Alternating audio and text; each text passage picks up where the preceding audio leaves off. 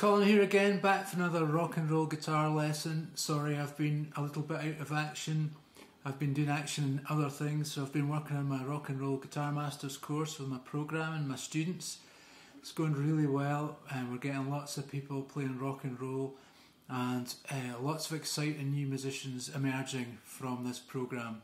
And I think there'll be a lot of new rock and roll bands down the line. I hope so anyway. Certainly a few. Uh, so uh, I am going to try and keep my YouTube channel going, and I'm sure I will, but it might be a little patchy in terms of uploads just for the next month or two, because I've got a lot of work to do on my program, and I have to kind of give priority to that really, and I've got to give priority to my customers. Uh, so this is a request for one of the people on my program, a chap called Roger, who wanted to learn how to play No Particular Place to Go by Chuck Berry. Now, this song it came out in 1964. It was on his album St. Louis to Liverpool, which was the first album that Chuck Berry made that actually made the charts, uh, and it got to number 124, which is not really that fantastic when you consider it's probably one of the greatest rock and roll records ever made in history. But uh, that is just the way that history goes sometimes. So apologies to um, historians. Um, so yeah, this is quite a simple song. It's based on a, a 12 bar blues progression in the key of G, and there's a lot of repetitive riffs in it, and the, the uh, solo tabbing that out was quite tedious because it's very repetitive, but at the same time it's, it's absolute genius and uh, great, great sort of track to get the hang of because you begin to really get the feel of uh, the Chuck Berry style once you get comfortable with it. Okay, folks, I'm going to break it down for you now. Let's get rocking. Okay, folks, no particular place to go is a 12 bar in the key of G, as we just said, and you're going to need to know that shuffle riff. I'm sure you know it by now if you've been watching this channel for any length of time. It's a standard Chuck Berry riff, and uh, you're going to have three on the E, five on the A. Play them together, you've got a, a G5 chord. And then we're putting a pinky on for the six. So the six goes on to the seventh fret of the A.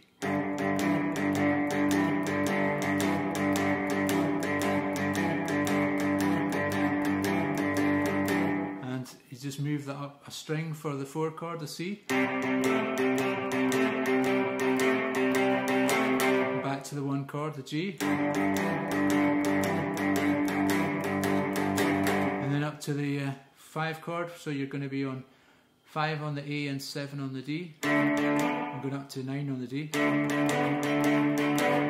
then down 2 frets for the 4 chord. Back to the 1 chord. Okay, let's look at the lead parts. The introduction is a D augmented chord and it sounds like this. So it's a series of triplets 1 2 3 1 2 3 1 2 3 1 2 3 1. And uh, basically, if you don't know what a D augmented chord is, or what an augmented chord is, it's like a normal D chord. That's a normal D chord. But uh, you actually raise the, the fifth. So the fifth on a D is an A. And you've raised that by a, a semitone, you get a B flat. And that makes that lovely augmented sound. So Chuck's got this riff that's quite uh, distinctive that he uses through the verses, which is based around the second position pentatonic. So you'd be starting the one here, but you just tend to use the top bit, which is what people often refer to as the BB King box. So you just slide, so you're sliding from into sort of 7 on the G and you're picking the, the 6 on the B and you're just moving back into first position so you're picking 5 and 5 and then 3 and 3 5 and a D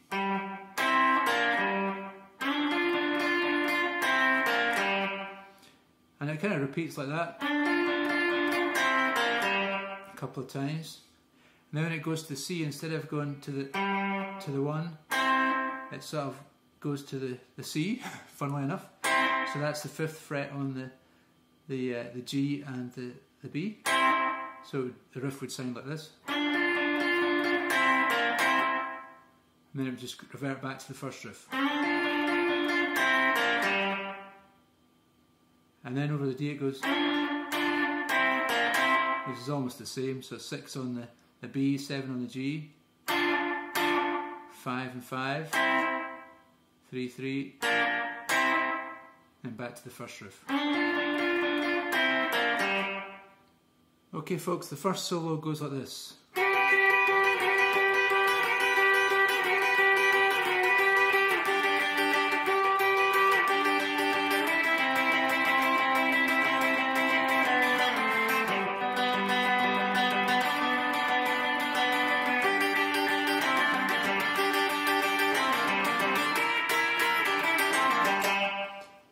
So what's happening? We're sliding up to basically a G triad.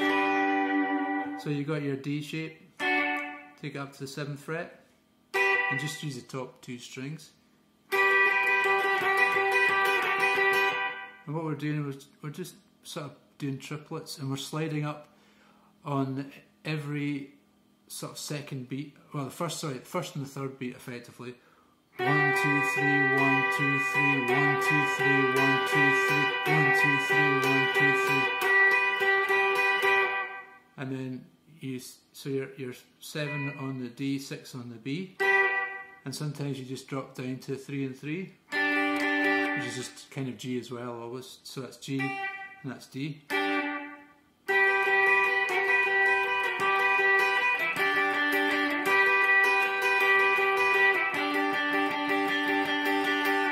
Then when we go to the C, we're playing it sort of part of a C triad.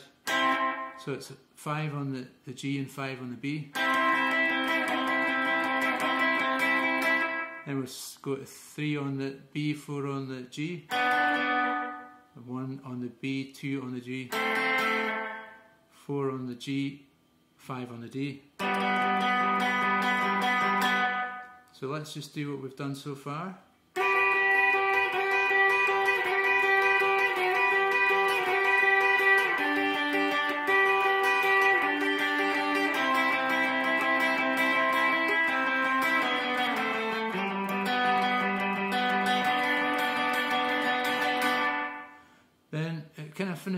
With this riff.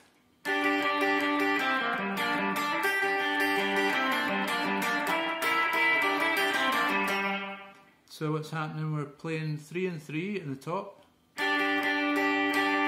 two sets of triplets, then five, uh, five on the B and G, and then three on the B and G. Five on the D, then three, five, three on those two again. Let's just play that. And repeat it.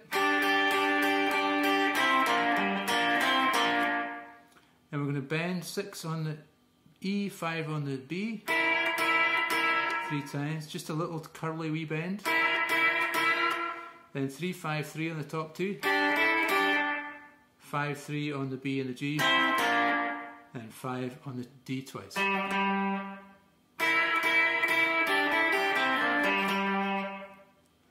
So we do the whole thing.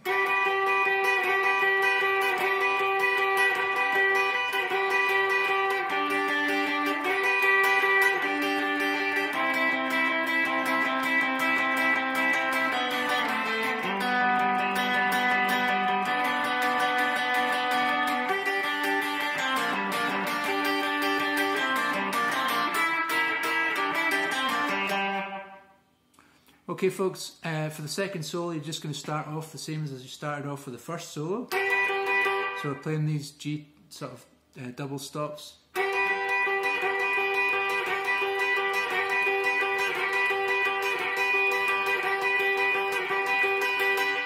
And then we're going to play a G chord. No, that's right.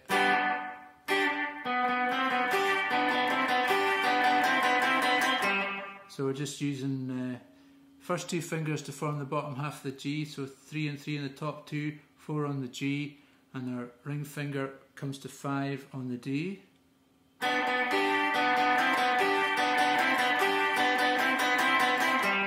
And we're playing that five and five with our ring finger as well.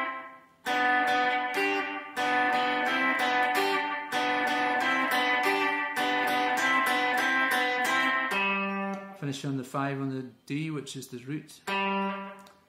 Okay, the next lick is just a series of double stops, uh, three and three in the top two strings, but you start off, you play four, then five on the, the G, just to walk into it.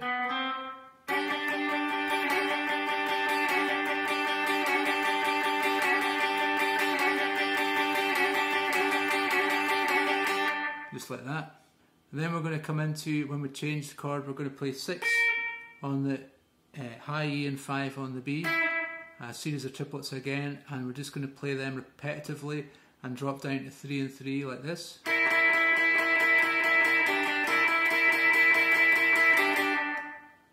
So do that twice.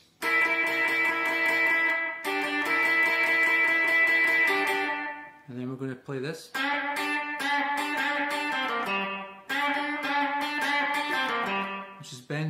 5 on the, the G and playing 3 on the B. Then going 5 3 on the G, finish on 5 on the D.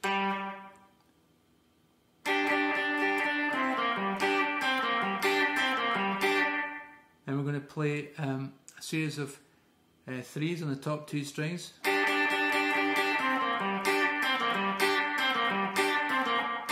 we're playing 5 3 on the, the G, 5 on the D, then top 3 in the top two. Repeating that.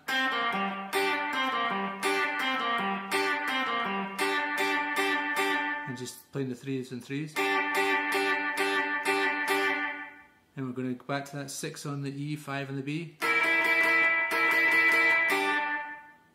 And we're going to walk up five on the D, three on the G. That's the next riff. So we go five on the D, three on the, the G, push up to the 5 and release it on the G and then I just play an open G. Now he maybe does go a 5 on a D, I don't know, but same note. But I just find that easier, just picking that, that open G. Then we're going to go 5 on the D, 3 on the, the G, and then we're going to go a series of 5s. Like that. So the whole lick goes like this.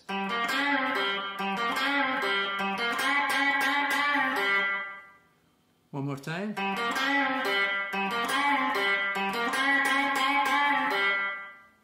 And then we're going to go back to that lick where we start on the 4 on the G. Then we're going to finish off, we're just going to play a run of threes in the top two strings.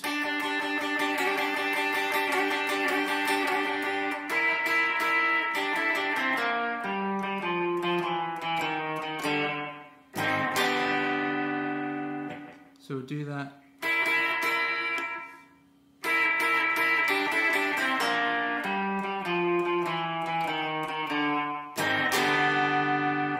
So we're doing six on the top E, five on the B,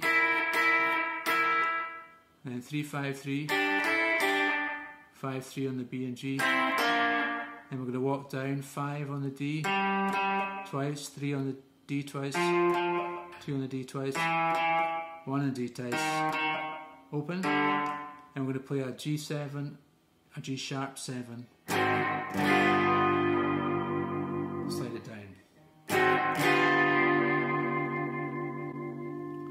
Okay folks, I hope you found that helpful. I'll put the tab download in the description below. Thank you very much for tuning in and I hope you're uh, going to enjoy that lesson.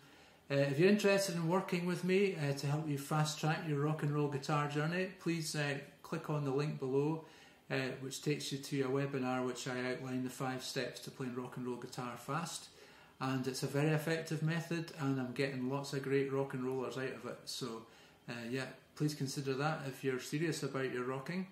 Uh, by all means, keep tuning in, folks, keep subscribing, and keep rocking. I'll see you next time.